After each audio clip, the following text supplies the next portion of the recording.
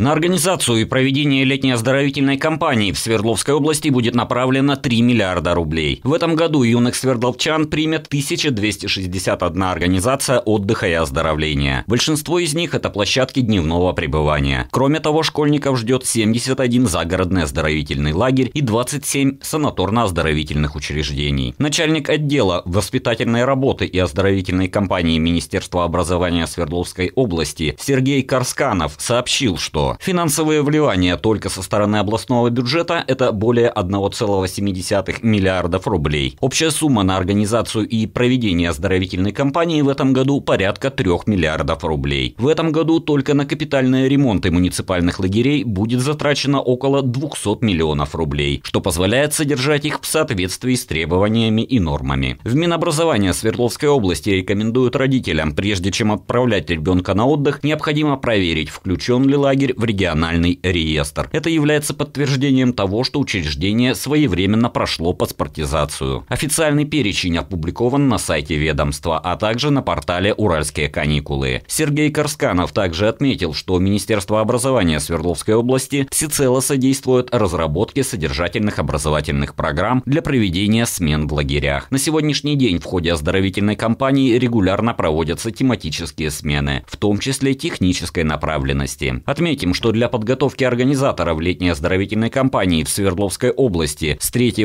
по 5 апреля пройдет межрегиональный форум руководителей и педагогов организаций отдыха и оздоровления детей «Уральские каникулы». В рамках форума пройдут семинары по актуальным вопросам сферы отдыха и оздоровления детей. Будут презентованы лучшие практики. Планируется, что в работе форума примут участие отечественные ученые и ведущие специалисты в сфере отдыха и оздоровления детей из Москвы, Новосибирска, Перми, Тюмени и Екатеринбурга. Будем надеяться, что и артемовские лагеря будут полностью готовы к детскому оздоровительному сезону. Будет обеспечено качественное питание и предусмотрены все необходимые меры безопасности. Не будем забывать и о пришкольных лагерях дневного пребывания, в которых ребята не просто отдыхают, а с пользой проводят время, развиваются и получают новые знания. Пожелаем ребятам приятных каникул, а сотрудникам детских учреждений, чтобы сезон прошел без неприятных ситуаций.